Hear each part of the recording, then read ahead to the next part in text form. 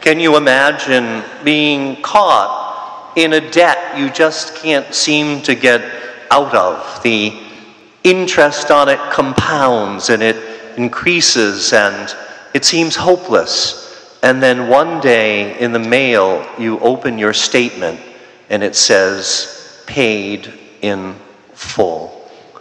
Imagine the relief, the joy, the gratitude.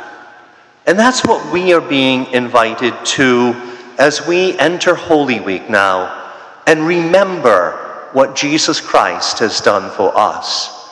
He has paid the debt to God that we could never pay, the debt for our sins. Even though our sins may not be serious, they are sins. They are disobedience to the Father.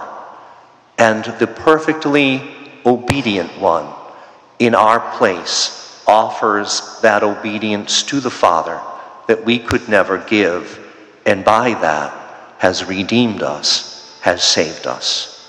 So, in turn, what can we give? Only our promise to be thoughtful and to remember what Jesus has done for us, the great price he paid for our redemption, giving his life on the cross, and in remembering to give thanks. So let us commit ourselves to join together as a community of faith in this most holy week that lies before us to do just that.